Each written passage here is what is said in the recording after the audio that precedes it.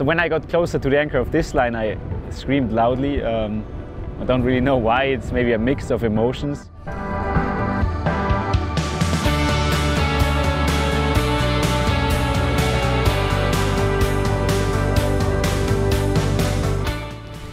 This is hard because it's really exposed. It's 600 meters high. It's uh, all 2,150 meters.